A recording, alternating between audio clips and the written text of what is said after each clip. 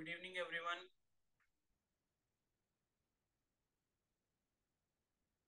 Good evening, Adarsh. Good evening, Kamini. Good evening, Reshma. Good evening, Kashish. Good evening, Soumya. Good evening, Vaishnavi.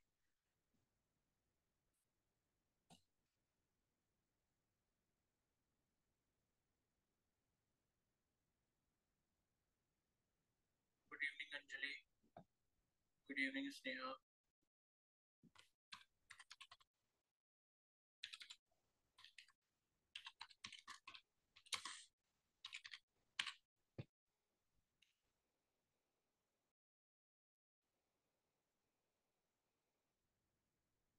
चलो तो अब कुछ questions हम practice करेंगे एक दूसरे टॉपिक से जो कि है आपका ऑर्डरिंग ऑफ़ सेंटेंसेस ठीक है तो ऑर्डरिंग ऑफ़ वर्ड से रिलेटेड मैंने आपको मॉर्निंग में बताया था कैसे करने होते हैं ठीक है? एंड देखो ज़्यादा से ज़्यादा प्रैक्टिस करोगे तो उतनी चीज़ें समझ आएँगी।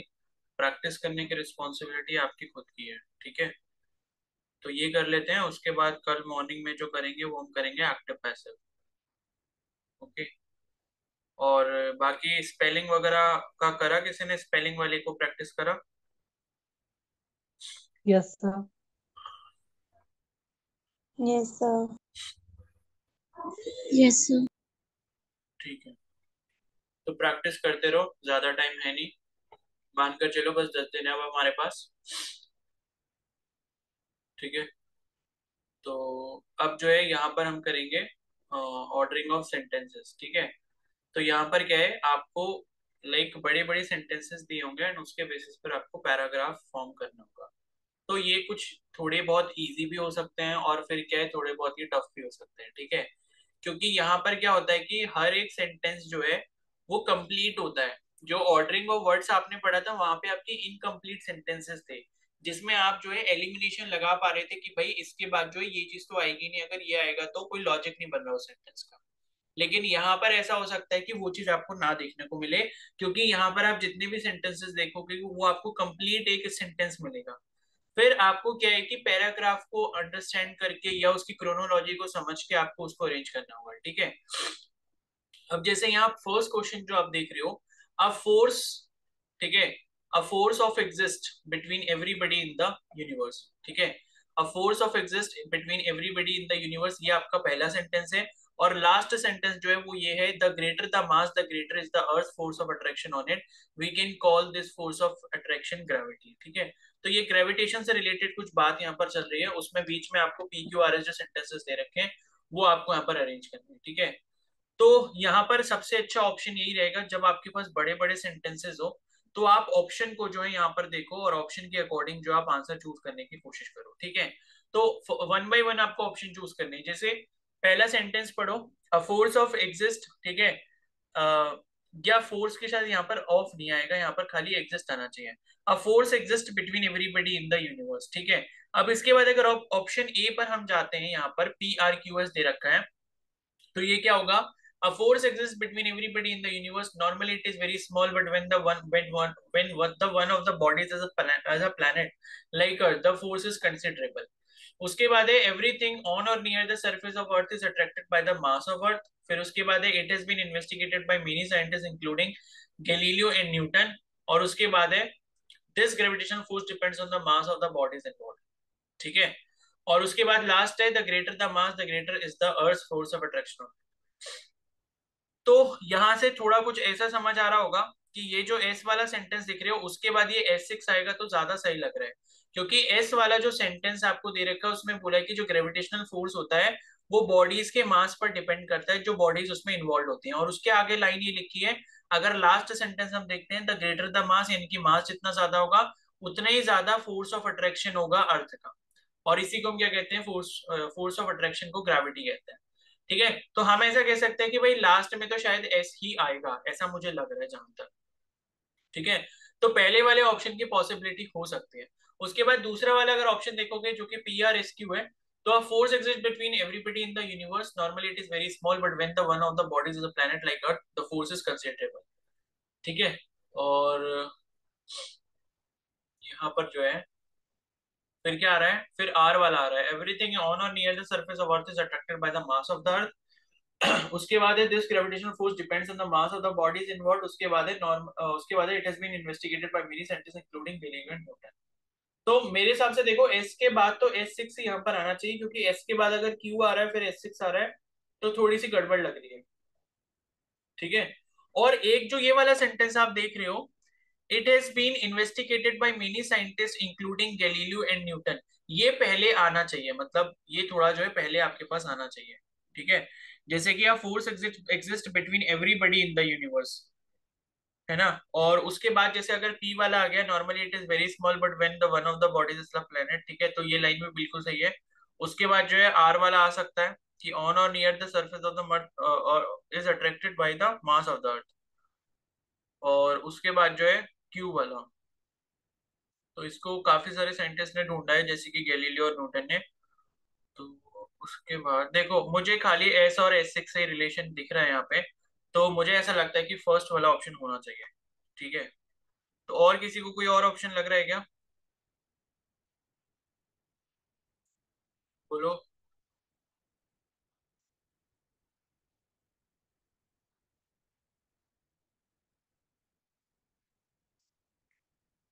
चलो ट्राई कर लेते हैं कौन सा ऑप्शन है। फ़र्स्ट तो नहीं है फिर, ठीक है? फ़र्स्ट नहीं है।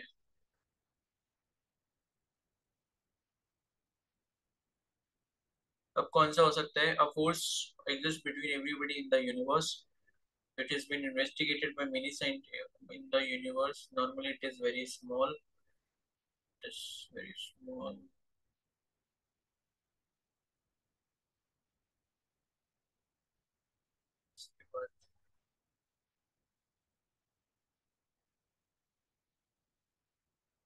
समझ में नहीं आते भाई ये, बहुत टफ होते हैं।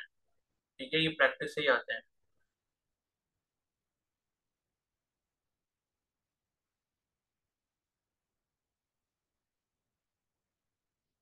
क्यू एस आर पी या Q S P R P R और R P everything on near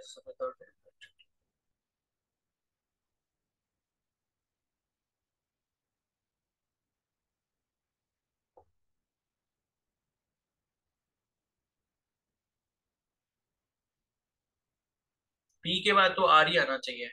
तो या तो बी होगा या फिर डी हो सकता है। ठीक है डी को ट्राई करते हैं एक बार। डी जो है वो आपका राइट आंसर है। ठीक है? तो डी अगर राइट आंसर है और उसके अकॉर्डिंग देखोगे तो आपके सारे सेंटेंसेस किस तरीके से रेंज्ड है। A force exist between everybody in the universe it has been investigated ठीक है? तो ये पहले ही आ गया। मैं सोच भी रहा था कि इसको पहले रखना चाहिए। कि इसको ढूंढा किस किसने मतलब आपने इसकी हिस्ट्री के बारे में बताया पहले कि गैलीलियो और न्यूटन ने इसको डिस्कवर किया उसके बाद है this gravitational force depends on the mass of the body तो इसके बारे में आपने एक प्रॉपर्टी बताई कि मास पर डिपेंड करता है। उसके बाद आपने बताया कि ये काफ़ी छोटा होता है, लेकिन जब कोई बॉडी बहुत ही बड़ी होती है, जैसे कि एक प्लेनेट अर्थ की तरह तो फोर्स कंसिडरेबल हो जाता है, यानी कि फोर्स का कुछ मैग्नीट्यूड काउंटेबल होता है, ठीक है?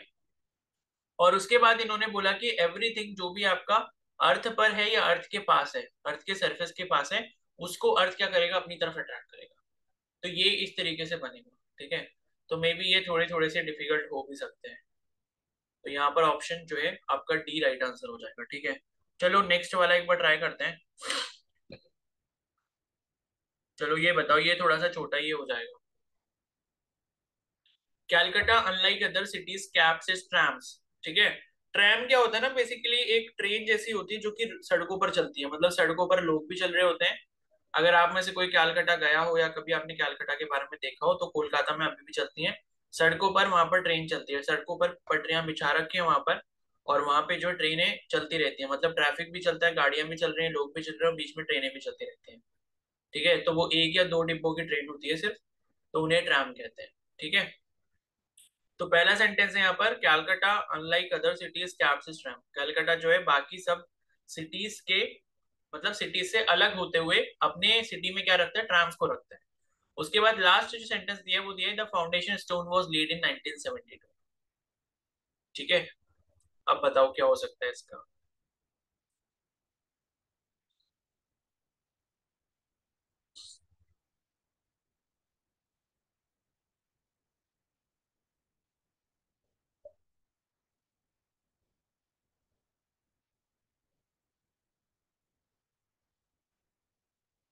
देखो पी वाला जो सेंटेंस है, वो मुझे लगता है कि पहले आ सकता है। कैलकाटा अनलाइक अदर सिटीज़ की कैप्स ट्रैम्स कैलकाटा ने अभी भी अपने पास ट्राम रखी हुई है। As a result there is horrendous there के बाद इज़ आना चाहिए। हॉरेंडस कंजेशन कंजेशन का मतलब कि बहुत भीड़ भाड़ रहती है। तो ये सेंटेंस जो शुरू हुआ है, वो एज अ रिज़ल्ट से हुआ है। एज अ रिज़ल्ट मतलब किसी चीज़ का रिज़ल्ट लेते हुए ये चीज़ आप बता रहे हो। मतलब किसी चीज़ को अकाउंट करते हुए आप ये चीज़ बता रहे हो कि इसकी वजह से काफ़ी ज़्यादा सिटी के अंदर कंजेशन रहता है या ट्रैफ़िक रहता है। ठीक है? तो पी वाला जो वो पहले आ सकता है। उसके बाद क्या है? It was going to be the first in South Asia they run down the centre of the road to ease in the city they decided अब देखो यहाँ पर आपको एक और हिंट मिल जाएगा। जैसे इन्होंने लिखा है to ease in the decided to build an underground railway line ठीक है? It was going to be the first in South Asia मतलब ये है कि they run down the they run down the centre of the road ठीक है? It was going to be the first ease in the decided to build an underground मतलब ये कि जैसे ट्राम तो चलते थे उसके बाद जो है ट्रैफ़िक को कम करने के लिए या सिटी में जो ट्रैफ़िक है उसको थोड़ा हल्का करने के लिए उन्होंने एक अंडरग्राउंड रेलवे लाइन बिछाने का सोचा।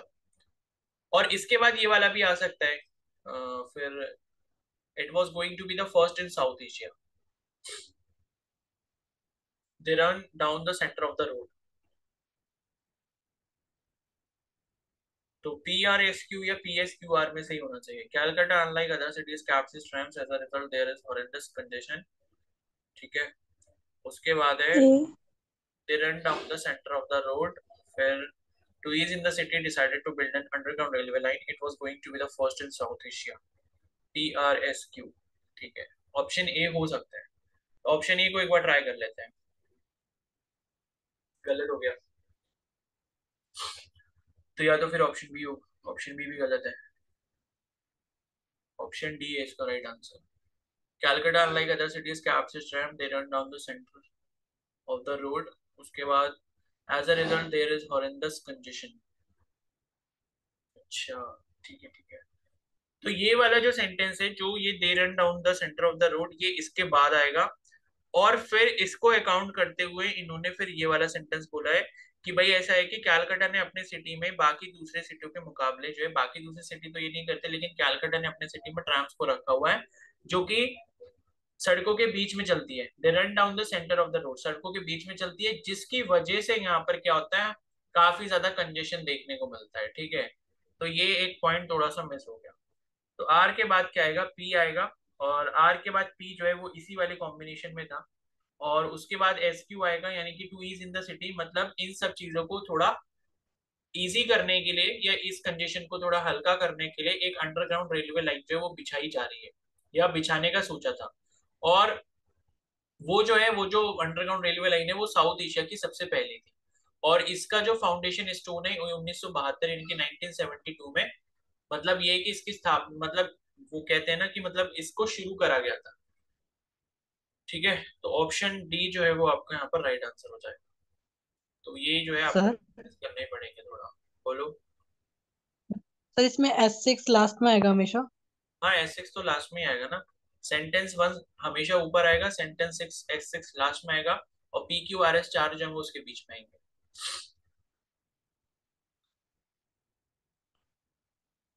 तभी तो एस सिक्स दिया है ना वरना तो एस टू देते अगर एस वन के बाद आना होता। ठीक है? अब ये वाला क्वेश्चन देखो। For some time in his youth Abraham Lincoln was manager for a shop ठीक है? तो कुछ समय के लिए जो अब्राहम लिंकन है, ठीक है? वो अपनी जवानी के टाइम में एक मैनेजर हुआ करते थे किसी दुकान के। Was a manager of a shop उसके बाद लास्ट जो सेंटेंस दिया वो है never before had Lincoln had so much time for reading as had that ठीक है? इस सेंटेंस से तो कुछ समझ नहीं आ रहा कि इससे पहले क्या आना चाहिए। तो मतलब ये कि एक बात सबसे पहले ये बोली गई कि अब्राहम लिंकन जो है वो किसी एक शॉप के मैनेजर रह चुके हैं, अपने जवानी के टाइम पे इन यूथ ठीक है? उसके बाद है then a chance customer would come young Lincoln way of keeping shop was entirely unlike any else Lincoln would jump up and attend to its needs in the river to its reading he used to lie full length on on the counter of the shop he curly reading that book ये तो sentence ही मेरे को थोड़े से गलत गलत से लग रहे हैं।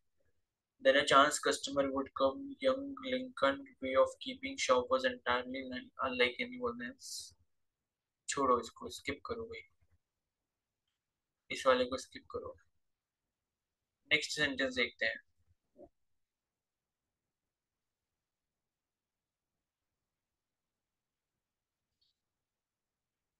ये वाला कर सकते हैं तो all the land was covered by the ocean ठीक है तो सारी जो ज़मीन है ओशियन से घिरी हुई थी या ओशियन से कवर्ड थी।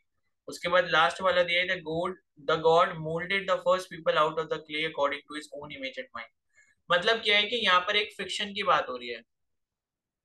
फिक्शन मतलब एक इमेजिनरी कहानी की बात हो रही है, जिसमें ये कुछ ऐसा बताया जा रहा है कि जो यहाँ पर जीवन है, लोगों का जीवन किस तरीके से धरती के ऊपर शुरू हुआ होगा, ठीक है? तो इन्होंने ये सबसे पहला सेंटेंस दिया है कि भाई पृथ्वी जो है, वो सबसे पहले पानी से घिरी हुई थी। All the land was covered by the ocean पृथ्वी जो है इनिशियली पानी से घिरी हुई थी स्टार्टिंग में। ठीक है? उसके बाद आपको बताना है मतलब ये जो इमेजिनेशन दी हुई है, इनको फिर आपने जो है लगाना होगा। और उसके बाद लास्ट में इन्होंने बोला कि गॉड ने मोल्ड करा पीपल को आउट ऑफ़ क्ले मोल्डेड का मतलब होता है कि जैसे मिट्टी से अगर हम कोई चीज़ बनाते हैं तो उसको मोल्ड कहते हैं मतलब मोल्ड मोल्डेड कहते हैं, उसके लिए वर्ड इस्तेमाल करते हैं। तो the god moulded the first people out of clay यानी कि मिट्टी से भगवान ने क्या करा? यहाँ पर लोगों को बनाना शुरू करा। According to his own image and mind तो इसके बीच में क्या क्या आ सकता है? तो पहला सेंटेंस है the leading god for the monster killed it and chopped its body into two half a terrible monster prevented the gods from separating the land from the water the god made the sky out of the upper part of the body and ornamented it with the stars the god created the earth from the lower part grew plants on it and populated it with animals इसको भी आपने जो है option से करना पड़ेगा।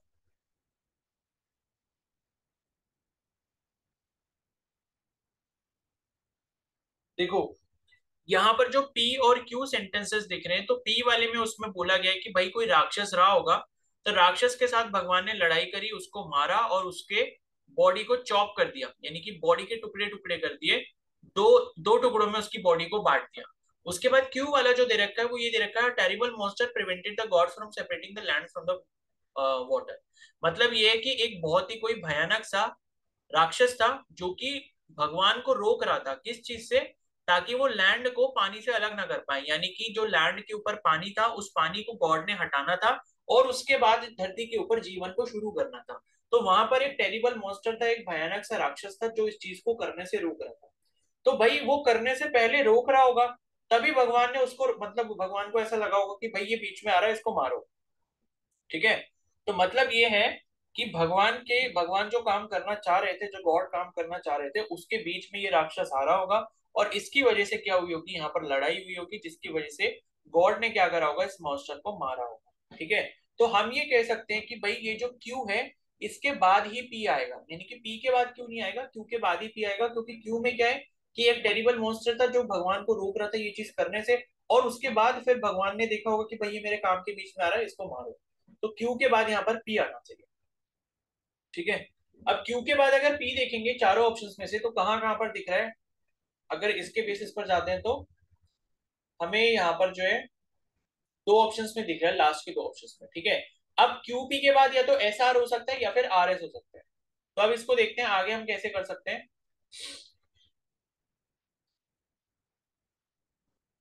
देखो Q P R S अगर होता है या एस आर होता, जैसे इसमें लिखा है the god made the sky out of the upper part of the body and ornamented it with stars the god created the earth from the lower part grew plants on it and populated it with animals. बताओ इसमें क्या हुआ होगा पहले? पहले lower part को God ने create करा होगा या फिर अपर पार्ट को क्रिएट करा होगा? अपर मेरे हिसाब से अपर को किया होना चाहिए।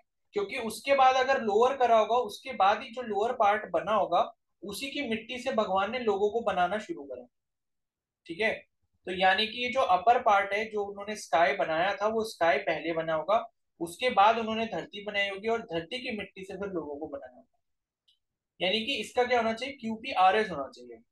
ठीक है? तो अब देखते हैं कि ये लॉजिक काम करता है कि नहीं करता है।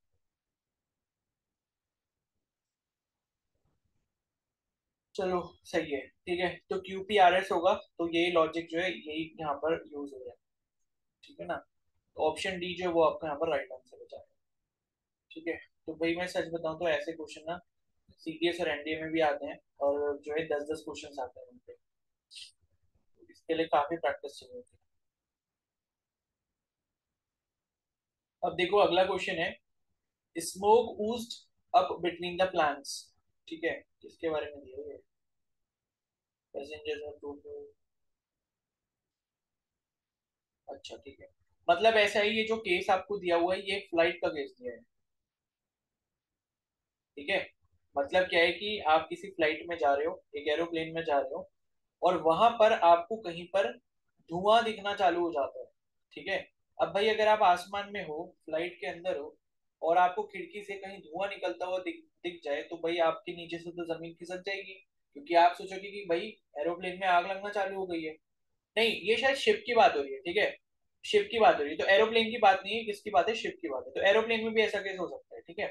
तो मतलब वही है शिप ले लो या एरोप्लेन ले लो। बात वही है कि शिप में भी आप पानी के बीचों बीच में वहाँ पर भी आपको हेल्प इतनी जल्दी नहीं मिलने वाली और अगर आप हवा में हो, तब भी आपको हेल्प इतनी जल्दी नहीं मिलने वाली, ठीक है? तो अब इन्होंने दिया है एक शिप का केस तो शिप में इन्होंने बोला है कि भाई, लोगों को जो है प्लांट्स के बीच में। प्लांट्स बेसिकली हम कहते हैं लकड़ी के फट्टे को। तो कहीं पर ये लकड़ी के फट्टा मतलब क्या है कि शिप आपने देखा होगा ना? शिप किससे बना होता है? लकड़ी के फट्टों से बना होता है। नीचे जो लकड़ियाँ, लकड़ी के प्लांट्स बिछाए जाते हैं। तो वहीं कहीं पे बीच में से धुआँ जो है ऊपर की तरफ़ आता हुआ दिखाई दिया। ऊस जब का मतलब क्या होता है ऊपर की तरफ़ आना। ऊस का मतलब क्या होता है? जैसे आप कभी कोई पेप्सी या कोक ग्लास में लौटते हो तो आपने देखा होगा जो कार्बन डाइऑक्साइड के मॉलिक्यूल होते हैं, वो धीरे धीरे ऊपर आ रहे होते हैं। उसी के लिए हम वर्ड ऊस जब इस्तेमाल करते हैं। तो उसी तरीके से यहाँ पर धुआँ जो है प्लांट्स के फट्टों के बीच में से, लकड़ी के फट्टों के बीच में से ऊपर आता हुआ दिखाई है। उसके बाद लास्ट है most people bore the shock bravely ठीक है? तो बोर जो है, ये कोई बता सकता है बोर का मीनिंग क्या होता है? ये वाला बोर जो लिखा है यहाँ पर most people bore the shock bravely देखो, ये ना बियर की सेकंड फॉर्म है, ठीक है? एक बियर का मतलब तो क्या होता है? भालू होता है। है ना? और एक बियर का मतलब क्या होता है? कोई बताएगा? बताओ। जैसे हम, आपने कभी एक सेंटेंस ये पढ़ा होगा कि you have to bear the losses ठीक है? या आपने जो है एक, आपने कभी देखा होगा ना? जैसे कोई भी नोट लेना, ठीक है? जैसे दस रुपए का नोट या बीस रुपए का नोट आपने एक वर्ड वहाँ पर देखा होगा बियरर करके लिखा होता है। देखा है कभी किसी ने?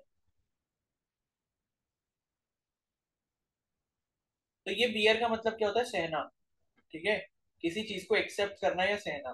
तो लास्ट वाला जो सेंटेंस दिया most people bored the shock bravely इसका मतलब क्या है?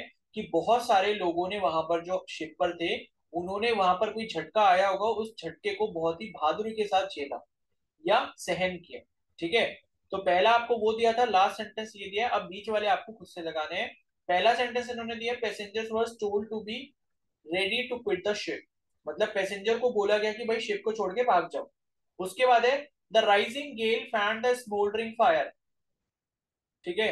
Rising gale fan the smouldering fire का मतलब मेरे हिसाब से या तो ये हो सकता है राइजिंग गेल फ़ैन फ़ैन मतलब कि रिलेटेड टू लाइक फ़ैन हो गया मतलब कि जो लहरें आ रही होंगी, लहरों की वजह से जो हवाएँ चल रही होंगी वहाँ पर शिप पर, आप समझ सकते हो, कुछ तूफ़ान वगैरह जैसा चल रहा होगा, उसने आग को भड़का दिया, ठीक है? तो everyone now knew there was fire on board अब क्या हुआ? धुआँ निकल रहा था, उसके बाद थोड़ी हवा वगैरह चली, हवा तेज हुई तो अब सबको धीरे धीरे पता चल गया कि भाई यहाँ पर आग लग गई तो flames broke out here and there उसके बाद जो फ्लेम्स की फ्लेम मतलब फ्लेम क्या होता है? बताओ। बताओ भाई फ्लेम क्या होता है?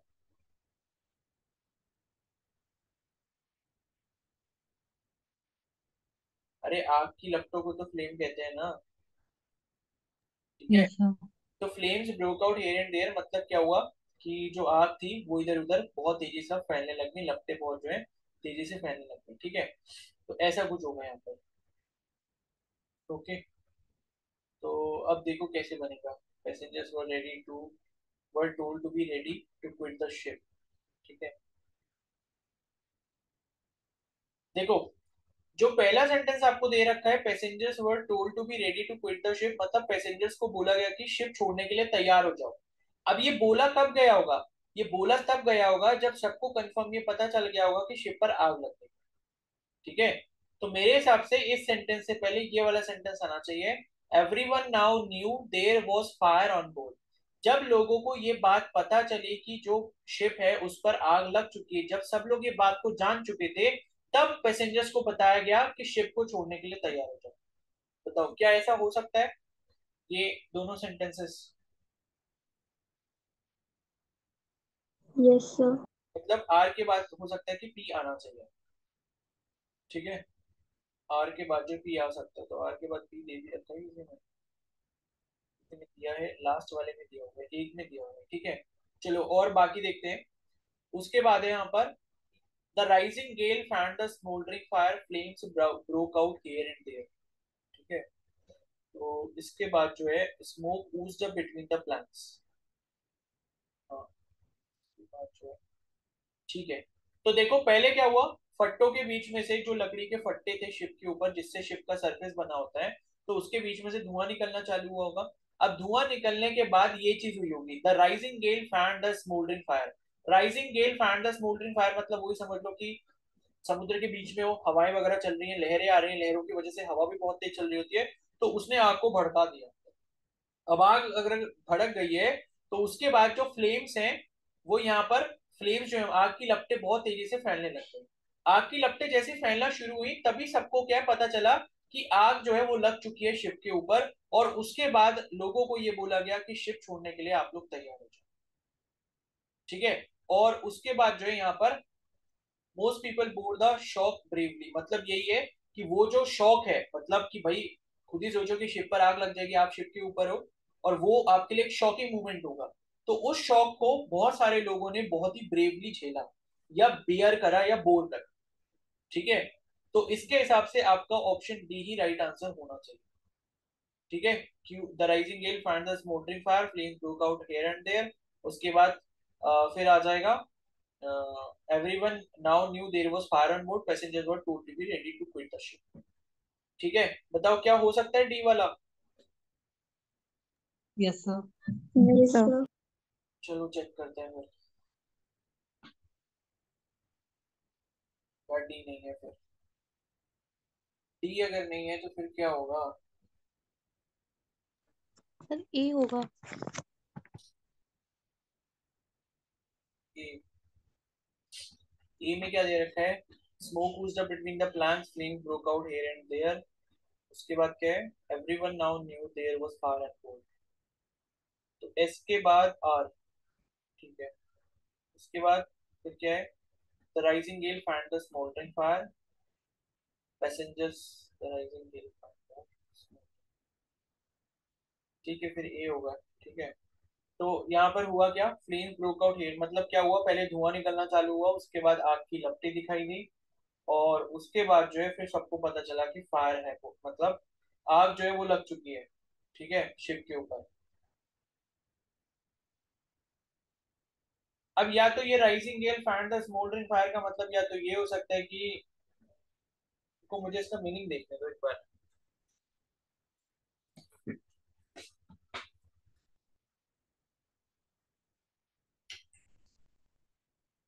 हो सकता है इसका मीनिंग कुछ मैं गलत इंटरप्रेट कर रहा हूँ, ठीक है? गेल का मीनिंग जो है। हाँ गेल का मीनिंग तो वही है। अ वेरी स्ट्रॉन्ग विंड आंधी, तेज हवा, तूफ़ान, ठीक है? और उसके बाद है द स्मोल्डरिंग फायर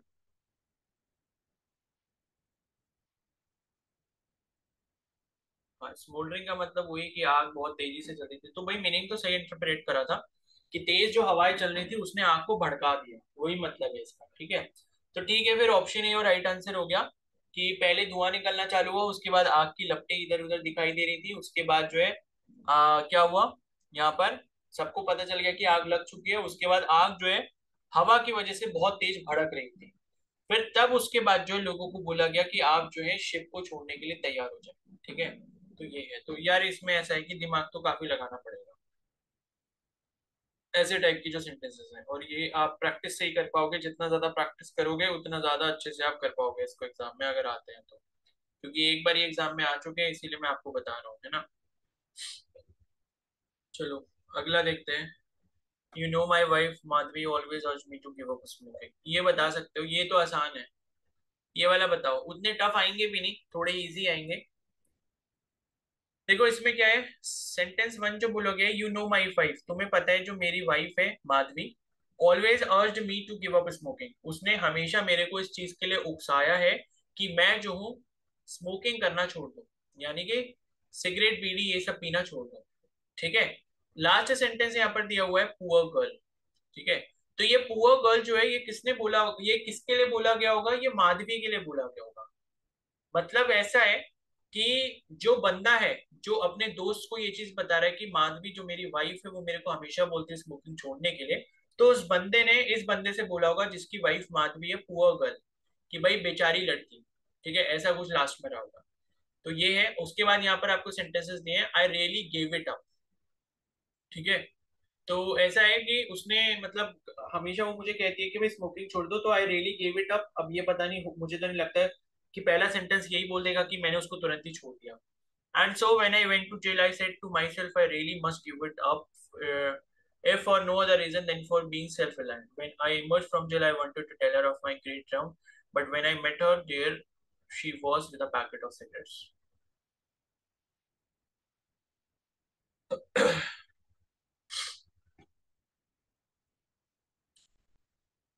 देखो, इसमें ना जेल जाने की कहानी भी है बीच में। अब ये जेल गया क्यों है?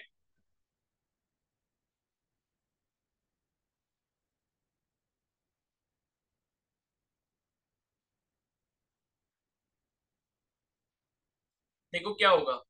ये जो थर्ड वाला सेंटेंस देख रही हो आर वाला when I emerge from the jail यानी कि मैं जब जेल से बाहर आया या वापस आया I wanted to tell her of my great triumph triumph का मतलब क्या होता है? विक्ट्री मतलब मेरी जीत।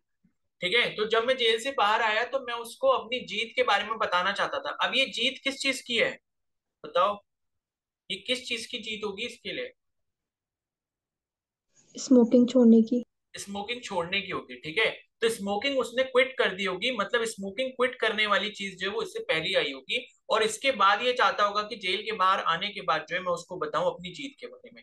तो I really gave it up मैंने उसको छोड़ दिया था। ये सेंटेंस इससे पहले आना चाहिए, यानी कि पी अगर पहले आएगा और आर जो है उसके बाद में आना चाहिए, ठीक है?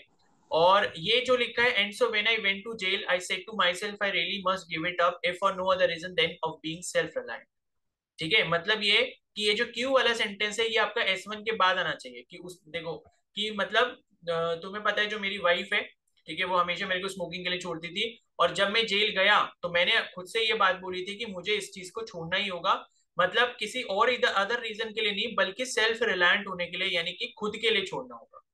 ठीक है? तो ये जो है, ये आपका पहले आना चाहिए क्यू आपका पहले आना चाहिए, ठीक है? तो क्यू हो गया, फिर उसके बाद पी आ गया रेली गिव इट मैंने उसको फिर छोड़ ही दिया था। और उसके बाद जब मैं जेल से बाहर आया, तब मुझे उसे बताना था अपनी जीत के बारे में तो आर इसके बाद आना चाहिए। ठीक है?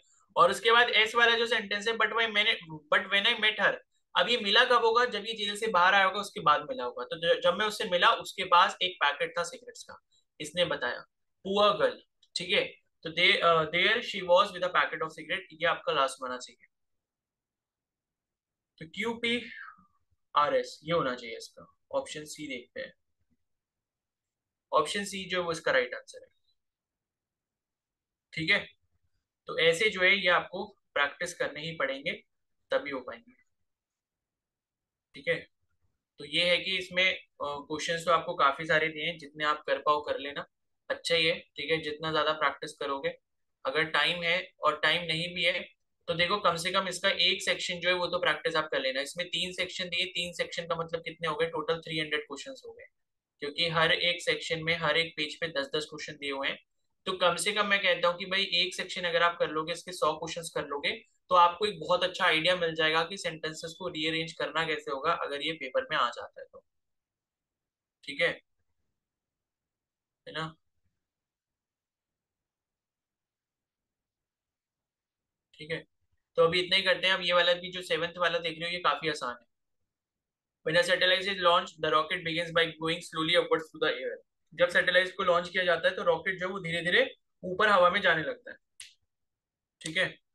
तो उसके बाद है the higher it goes, the less air it meets. As the rocket goes higher, it travels faster. For the atmosphere becomes thinner. As a result there is less friction देखो, अब ये जो फ्रिक्शन वाली बात आ गई ना फ्रिक्शन कब होगा? जब भाई कोई पार्टिकल्स आपके ज़्यादा होंगे। तो अगर कहीं पर पार्टिकल कम है तो भी क्या होगा? फ्रिक्शन आपका कम होगा। तो जैसे ये वाला जो सेंटेंस लिखा है however the higher it goes the lesser air it means मतलब जितना वो रॉकेट ऊपर जाता रहता है हवा की जो डेंसिटी है एयर जो डेंसिटी है, उसकी कम होती रहती है। अगर एयर की डेंसिटी यहाँ पर कम होती रहेगी तो फ्रिक्शन भी यहाँ पर क्या होगा? कम होता रहेगा। क्योंकि जितनी हवा रॉकेट से टकराएगी, उतना ज़्यादा फ्रिक्शन उसको फील होगा। यानी कि पी जो है, उसके बाद आपका एस आना चाहिए। ठीक है? और उसके बाद है as the rocket rocket goes higher travels faster जितना रॉकेट ऊपर जाता है, वो उतना तेज़ी से मतलब जाता रहता है। For the atmosphere become thinner ठीक है? तो पी एस वाला अगर देख लो पी के बाद एस कोई आ रहा है। पी के बाद एस वाला तो कोई भी नहीं है इसमें। क्यू पी आर एस अगर पी आर एस करते हैं तो however, the higher it goes for the तो P के बाद R आ सकता है। P के बाद R आ सकता है, उसके बाद S आ सकता है। पी आर एस यानी कि क्यू पी आर एस होना चाहिए। देख लेते हैं इसको, वरना इसको खुद एक बार ट्राई कर लेना।